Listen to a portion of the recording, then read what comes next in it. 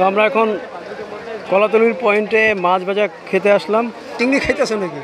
হ্যাঁ চিংড়ি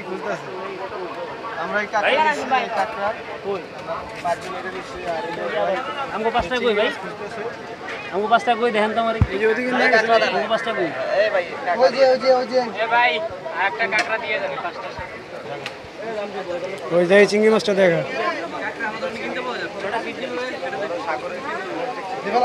ওই যে, ওই জায়গায় আরও মাছ আছে, এগুলো চিনো না?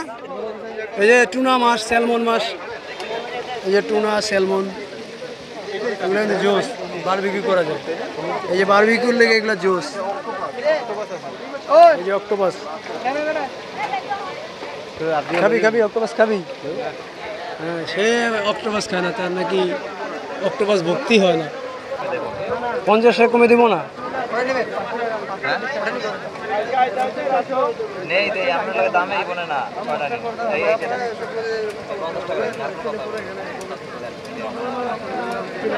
যাক তাহলে ইলিয়াস অবশেষে চিংড়ি পাইলো।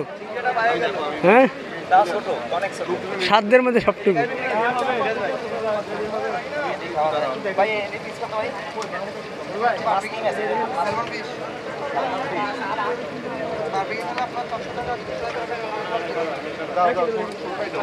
এই টুনা টুনা এই সাইজেরগুলা কত ভাই? টুনা এই সাইজের এই টুনা ছোটগুলা কত?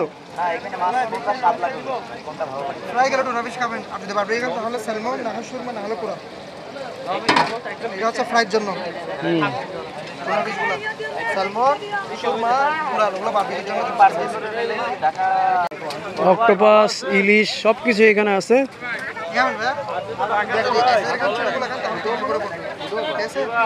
এই ছোটগুলো তিনশো আর বড়গুলা কত এই সাইডে খান তারপর ওইখান থেকে আজকে চলে যাব ভাই ওগুলোর চাইতে বড় আছে যদি এই সাইডে খান তারপর আপনার 1200 করে ইমাল তারপরে দিব 1200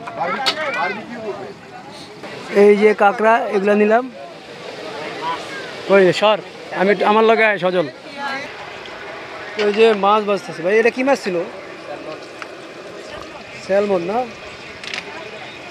স্যালমন এই সাইজেরগুলো কত টাকা করে ভাই? তিনশো আড়াইশো।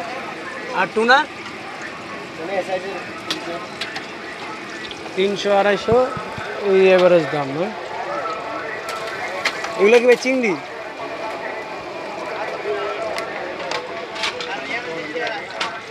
আচ্ছা টুলগুলো নে ব।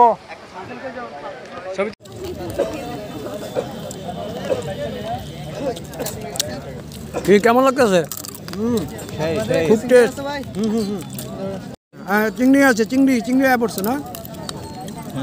হ্যাঁ তোমার চিংড়ি অবশ্য খাই লাও। আমার খাওয়া দাওয়া শেষে আবার কথা কমাবে কক্সবাজার আসি যাই না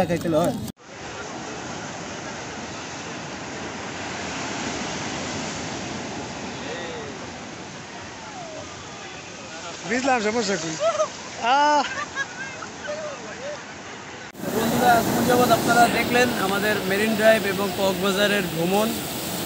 তো এখন আমরা চলে যাব, রাত হয়ে গেছে, একটু পরে বাস, এখন ডিনার করে তারপরে বাসে উঠে আবার ঢাকা ব্যাক করব।